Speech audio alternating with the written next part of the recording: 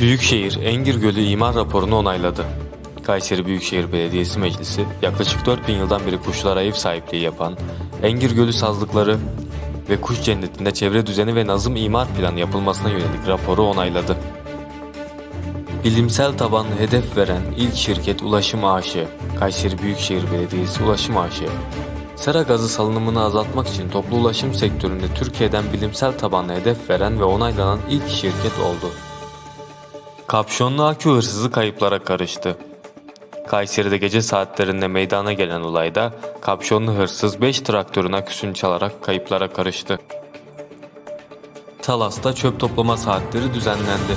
Vatandaşların mağdur olmaması ve temizlik çalışmalarının daha verimli şekilde gerçekleştirebilmesi amacıyla yapılan düzenlemeye göre daha önce 7'de olan çöp toplama saati 8.30 olarak değiştirildi.